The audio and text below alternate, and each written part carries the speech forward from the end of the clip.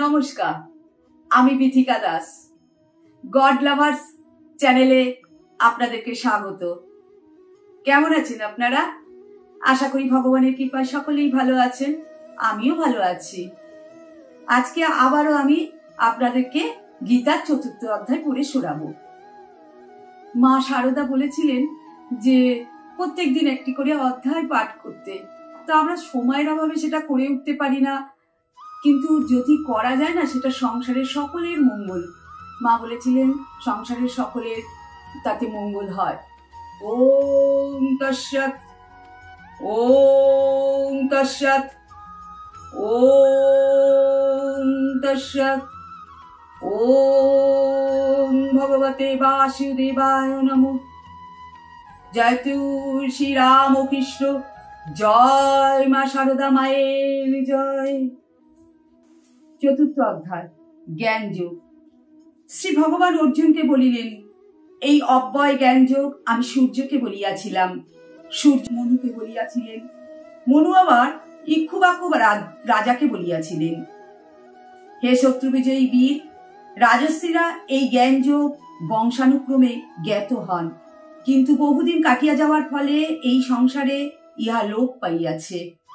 তুমি আমার সখা, ভক্ত ও বন্ধু সে কারণে আমি তোমাকে সেই পুরাতন গোপনীয় তত্ত্ব ও শ্রেষ্ঠ যোগ বলিলাম। অর্জুন বলিলেন, হে ভগবান, আপনার জন্ম পরে আর সূর্যের জন্ম আগে, তবে আপনি প্রথমে সূর্যকে বলিয়াছিলেন, তাহা আমি কি প্রকারে জানিব? ভগবান বলিলেন, হে মহাবীর অর্জুন, আমার এবং তোমার বহুবার জন্ম হইয়া গিয়াছে। আমি যে সবই জানি, তুমি জানো না। আমার জন্ম ও মৃত্যু নাই। আমি সকলের ঈশ্বর। আমি নিজ প্রকৃতিতে আশ্রয় করিয়া নিজ মায়া বলে নিজেকে সৃষ্টি করিয়া থাকি। হে অর্জুন, যে যে সময় ধর্মের গ্লানি অর্থাৎ অধঃপতন হয়, সেই সেই সময় আমি নিজেকে সৃষ্টি করি।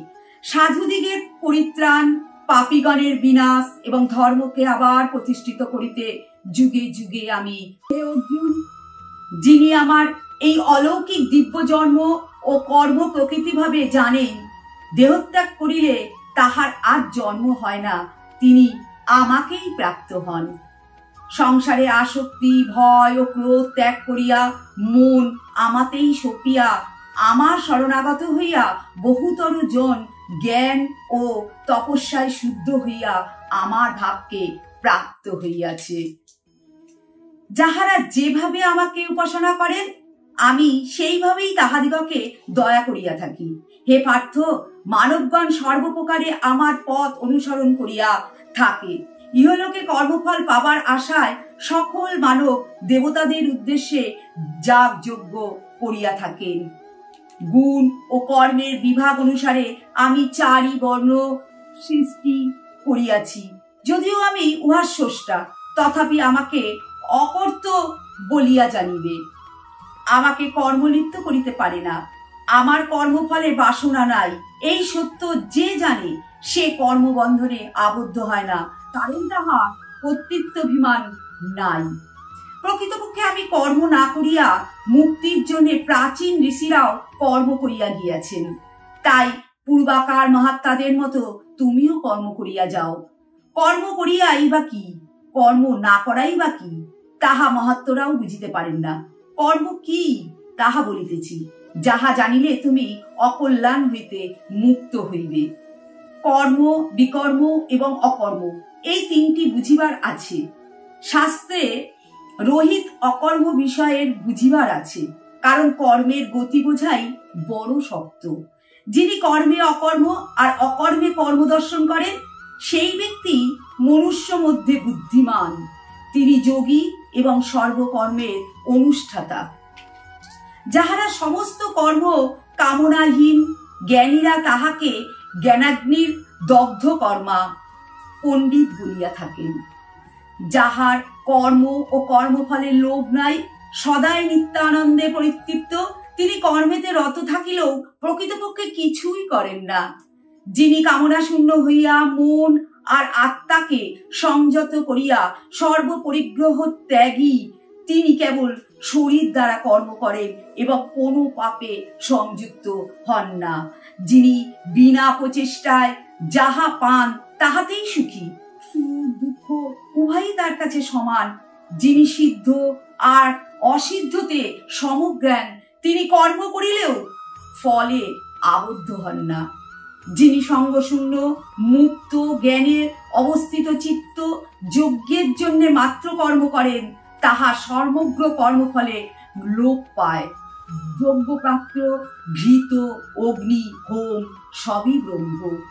এইভাবে কর্মকে যিনি ব্রহ্ম বলিয়া জ্ঞান করেন, তিনিই ব্রহ্মকে পান। অন্য যোগীরা দৈব উপাসনা করেন। আবার জ্ঞান যোগীরা ব্রহ্মরূপ অগ্নিতে কর্মান্তি দিয়া থাকেন।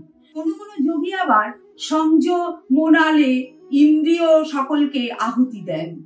কেউ বা ইন্দ্রিয় রূপ অগ্নিতে বিষয়ে আহুতি দেন। আবার কেহ কেহ জ্ঞান প্রদীপ্ত আত্মসংযম স্বরূপ সমগ্র ইন্দ্রিয় কর্ম ও প্রাণ কর্ম সমূহতে আহুতি দেন। কোন কোন যোগী দ্রব্য যোগ্য পরায়ণ, কেহ বা যোগ যোগ্য পরায়ণ, কেহ বা যোগ মাধ্যমে জ্ঞান রূপ যোগ্য পরায়ণ, কেহ বা অতি কঠোর নিয়মে বিদাধি শাস্ত্র পাঠ করত জ্ঞান লাভ রূপ যোগ্য করেন কেহ কেহ অপান বায়ুতে প্রাণাহুতি দেন, কেহ বা অপানে প্রাণকে আহুতি দেন, আবার কেহ বা প্রাণাপান গতিরুদ্ধ করিয়া প্রাণায়ামে আহুতি দিয়া থাকেন। এই যজ্ঞবিদগণ, যজ্ঞ সমাপদন করিয়া, নিষ্পাপ হইয়া যান এবং যজ্ঞান্তে অমৃত ভোজনে সনাতন ব্রহ্মকে প্রাপ্ত হইয়া থাকেন। হে পুরুষোত্তম, যে যজ্ঞে লিপ্ত নয়, তাহার ইহলোক নাই, পরলোক ও তো দূরের কথা। নানা প্রকার যজ্ঞের কথা বলা হইয়াছে, কিন্তু এই সকল কর্ম হইতে জ্ঞাত হইয়াছে। এই তত্ত্ব বুঝিতে পারিলে মুক্ত হইবে। হে মহাবীর অর্জুন, দ্রব্যময় যজ্ঞ হইতে জ্ঞান যজ্ঞ শ্রেষ্ঠ, কেননা সর্বকর্ম জ্ঞানের বিকাশে শেষ হইয়া যায়। সেই জ্ঞানবেত্তা গুরুকে প্রণাম করিয়া, সেবা করিয়া তাহাকে নানারূপ প্রশ্ন জিজ্ঞাসা করো। তত্ত্বদর্শী জ্ঞানীরা তোমাকে উপদেশ দিবেন। হে অর্জুন, এই জ্ঞান প্রাপ্ত হইলে তোমার আর মোহ থাকিবে না এবং আমাতে ও নিজ মধ্যে তুমি সর্বভূতকে অভিন্ন দেখিতে পাইবে। যদি তুমি সবচেয়ে প্রাপিষ্ট হও, তবুও জ্ঞানরূপ ভেলার সাহায্যে পাপ সমুদ্র পার হইতে পারিবে। হে অর্জুন, জ্বলন্ত অগ্নি যেমন সকল কাষ্টকেই ভস্মসাত করে, সেই প্রকার জ্ঞানরূপ অগ্নি সকল কর্মকেই ভস্মীভূত করিয়া থাকে। জ্ঞান তুল্য, পবিত্র কিছু ইহলোকে নাই। এই জন্যে জ্ঞান যোগ, যুক্ত যোগী যথাকালে পরমাত্মায় লয় হন। যিনি একনিষ্ঠ, শ্রদ্ধাবান ও জিতেন্দ্রীয়, তিনি আত্মজ্ঞান লাভ করিয়া শীঘ্রই পরম শান্তি পাইয়া থাকেন। অজ্ঞ শ্রদ্ধা হীন ও সংশয়াকুল ব্যক্তি ধ্বংস হয়। যে ব্যক্তি শাস্ত্র বা গুরু উপদেশে সন্দেহ করে সেই ব্যক্তির ইহলোক, পরলোক, এমনকি বৈষয়িক সুখ কিছুই নাই। হে অর্জুন যোগ দ্বারা যিনি সর্বকর্ম শ্রী ভগবানের সপিয়া দিয়াছেন এবং আত্মবান সেই রূপ ব্যক্তিকে কর্ম সকল আবদ্ধ করিতে পারে না। অতএব হে অর্জুন, জ্ঞান রূপ খড়গ দ্বারা তোমার হৃদয়ের এই যে সন্দেহ, তাহা ছেদন করো নিষ্কাম কর্মযোগ করো এবং যুদ্ধের জন্য প্রস্তুত হয়। ইতি জ্ঞান যোগ নাম চতুর্থ অধ্যায়। নমস্কার। আজকে এই পর্যন্ত। আশা করি আমার এই গীতা পাঠ আপনাদের ভালো লেগেছে।